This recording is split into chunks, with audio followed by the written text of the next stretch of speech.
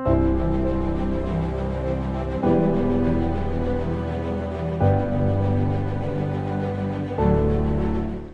नाम सुरेंद्र मंडल है। मैं मिलन ढाबे का मालिक हूँ। मिलन ढाबा विकासपुरी में 40 सालों से जो है चल रहा है।